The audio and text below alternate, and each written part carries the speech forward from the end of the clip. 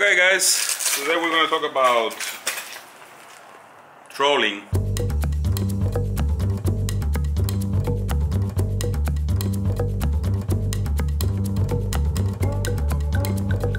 Uh, a few videos ago we went fishing and we went trolling for um, mahi mahi.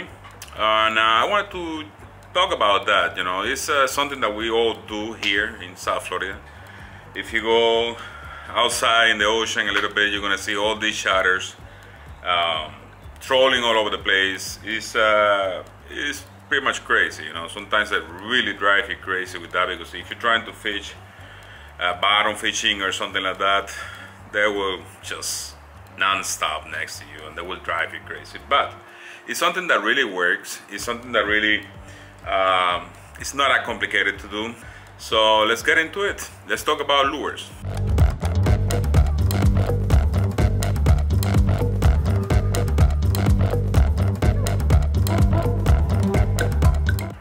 First thing that I want to remind you about lures is this is only a tool, guys. This is something that you shouldn't go crazy on it because there is so many options out there that they will drive you crazy. So the first thing you have to think about lures when you're gonna buy lures is gonna be can my lure match whatever the bait is out there at this season? Let's call it like that. And uh, that's more or less the only thing that you have to think about. Of course, the size of the of the lure depends of what you're looking for, but you know, in this little lure here, I had mahis, I had tunas, I had kingfish, I had pretty much everything you can imagine. The only thing I haven't catching those guys is wahoo and, and um, you know blue marlin and those we're going to talk about them that kind of fishing in another video right now we want to focus on this which is uh, mahi mahi um, tuna kingfish bonita pretty much anything else that is out there. And this is the kind of lures okay? This one over here we call it a feather. As you can see it's plastic on the outside it has feathers on the inside. And this one is something that I like to fish just like that without any bait attaching to it just the way it is. And this worked perfect guys okay? This other one we call it the islander or the bullet and this one I like to fish it with a bait over here I just pass through a bait and I put the hooks on the bait and this is something that I will pull behind my boat and it's really really effective okay these ones, uh, we call it, it's kind of like a popper. You pull behind your boat and what it does is it creates a lot of bubbles and make this thing look really, really big. So the fish go crazy with this and believe it, uh, it doesn't matter how much noise and whatever it does, the fish will go crazy for this. So these are great options to have behind your boat. And this one, of course, is the Rapala Magnum this thing work all the time. They work, they are great, and normally when you are pulling a bunch of different rods behind your uh, boat, these guys are gonna swim deeper and these guys are gonna bring the biggest fish. So keep in mind, I'm gonna, I'm gonna create a little layout here of how you should set up your rods and everything, but this guy will always be in your spread and this guy will always, always work for you. So keep it in mind, guys.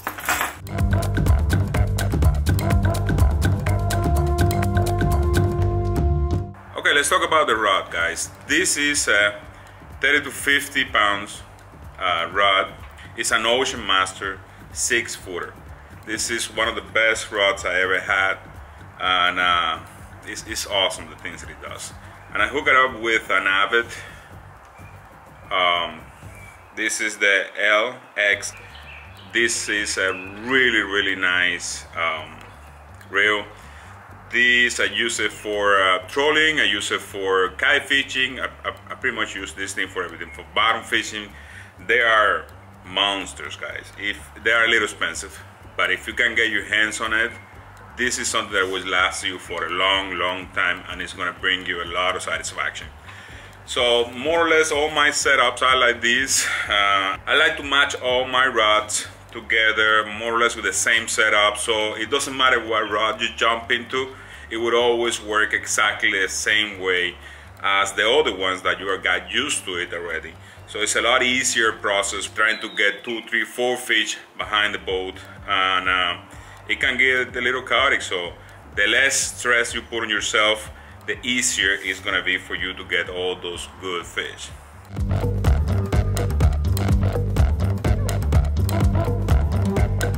Okay, let's talk a little bit about the process. What do we do? The first thing I'm gonna do is I'm gonna put the feather out there. The feather is a lure that is gonna go by itself. It's not gonna go with any bait. And I will put it right in the middle of the boat with one of my best rods. And I'm gonna give it 200 to 250 yards of line. And pretty much all my reels, they can hold 500 yards of line. So I'm not worried about fighting a big fish or something like that. If I get a big fish, I will still have 250 yards on my reel to fight them, all right? So this guy is gonna go out there, it's gonna go by himself. Why? Because uh, pretty much once you put it out there, nobody wants to deal with it. If you got a fish in here, there is not gonna be a lot of people on the boat fighting to bring it in because it's a long way. and uh, if if um, if you put a bait in here, this thing is gonna watch out pretty fast, and you don't want to be reeling in and out a long lure just to put a bait on it.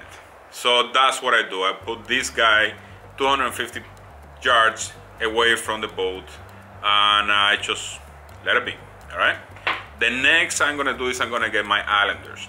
In my islanders, I'm gonna put ballyhoo in here. Pretty much all the fish here in Florida, they eat ballyhoo. Ballyhoo is the best, you know, besides bonita, ballyhoo is the best bait.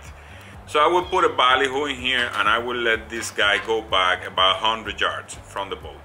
And I will keep it in there. And remember, I'm gonna have two of these. The only condition that I have is that these two islanders, they will swim parallel to each other. And why is that? Is because pretty much all bait fish, they swim in patterns.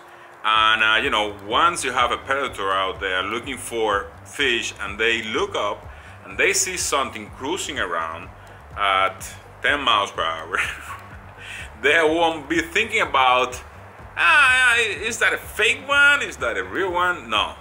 They might look at the pattern and take a decision based on that. Okay, so after the Islanders, I will send my plugs. And my plugs are gonna go about 50 yards from the boat. I will try to keep these guys close and you're gonna see that they make a lot of noise, they make a lot of bubbles. Uh, it's a really really nice thing to have. Sometimes I would put a bait on this sometimes I won't. It all depends. If it's um, if it's too rough out there I would just let it go like that. If it's not too rough that I can just go and do it quick and stuff like that I would put a bait on it. But it doesn't really make a lot of difference all right then after that in my last rod I'm gonna put the rapala and the Rapala, I'm gonna put it really close to the boat, right behind the motor. And I'm gonna let this guy sink as much as possible. I think this one sink for 20 feet, but uh, I also fished this one here. That's a big boy, isn't it? And this guy, he goes down for 40 feet. So I will keep it right behind the boat and I will make sure that it swims right. For you to know that those rapalas are swimming right, all you have to do is look at the rod and the rod have to be moving in the tip. If they're moving, that's perfect. If they're not moving, you get some grass or some stuff like that, so you will have to pick it up. So what happens when you get a bite? Let's say you have a fish and uh, people start going crazy. Never slow down. Never. Give it 20 seconds, man. And what happens is mahi mahi, they swim in packs. Blackfin tuna, they swim in packs. So, you know, once you get one of the fish in the hook, you might have 20 other fish in there trying to get the other bait. And you will just freak them out when you slow down. So let it be. Keep going for 20 seconds on same speed, and then after that, you won't stop anyway. You will just slow down. You will go, let's say, half of the same speed you were going before. So if you were driving 10 miles per hour, you will go up down to 5, 4.95. So that's what you will do. Now, let's say you have a fish in the islander. if you have a fish in the islander, you will have to first make sure that all the other ones that are at the same distance or less distance than the rod that is bitten, they will have to come in. So the first thing you're gonna do is you're gonna pick your rapala. Second thing you're gonna do is you're gonna pick both of your poppers. And then after that, you will reel in the other islander that was swimming next to this guy. And after that, you will start fighting your fish. Of course, you can have somebody fighting the fish a little bit, but not putting a lot of pressure on it. What happens is the fish, when they bite, they don't just swim straight at you.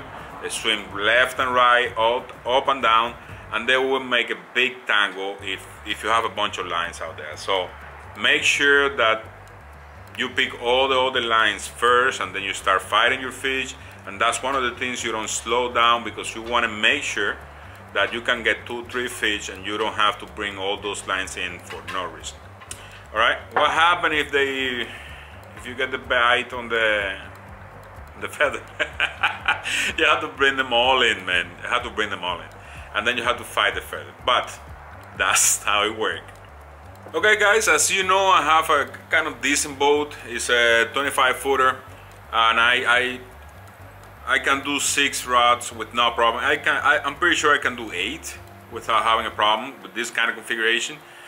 But uh, you know, six is plenty. But don't worry man. If you only have two rods, go with two rods. If you only have a Kajak, go with a Kajak. It doesn't matter. It will produce if you do it right. Just put your time in there. This is the way I do it. And if you've never done it, this is a great point for you to start.